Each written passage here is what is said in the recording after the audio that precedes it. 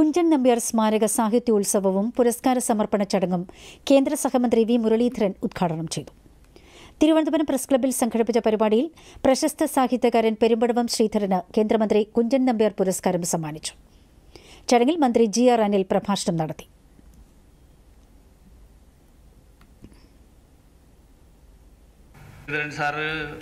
ആയിരം പൂർണചന്ദ്രന്മാരെ കണ്ടു എന്ന് നമ്മളെല്ലാവരും കൂടി പറയാം. അദ്ദേഹം അത് സമ്മതിച്ചിട്ടില്ല എന്നാണ് ഞാൻ മനസ്സിലാക്കുന്നത്. അദ്ദേഹം പറയുന്നത് അക്ഷരാർത്ഥത്തിൽ ആയിരം കണ്ടിട്ടില്ല.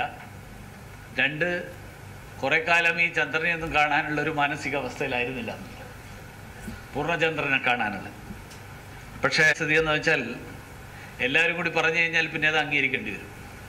അതുകൊണ്ട് ഇപ്പോൾ എല്ലാവരും കൂടി അദ്ദേഹത്തിന്റെ മുകളിൽ അത് ചാർത്തിയിരിക്കുക ആയിരം പൂർണചന്ദ്രന്മാരെ കണ്ട് കഴിഞ്ഞു എന്നുള്ളതിൽ ഏതായാലും കണ്ടാലും കണ്ടില്ലെങ്കിലും മലയാളികളെ സംബന്ധിച്ചിടത്തോളം അദ്ദേഹം ആയിരം പൂർണചന്ദ്രന്മാരെ കണ്ടു എന്ന് വിശ്വസിച്ചുകൊണ്ട് അദ്ദേഹം മലയാളികളെ കഴിഞ്ഞ കുറേ കാലങ്ങളായിട്ട്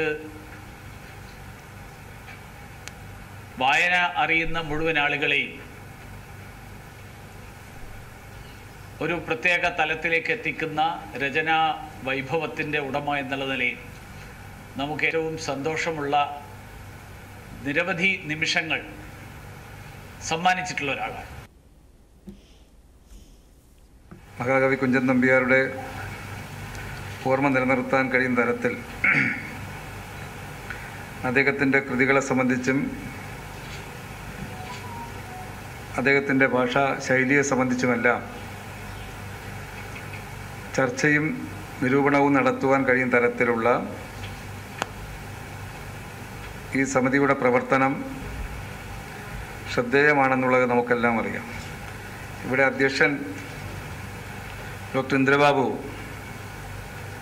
മഹാകവിയെ സംബന്ധിച്ച് ചുരുങ്ങിയ വാക്കുകളിലാണെങ്കിലും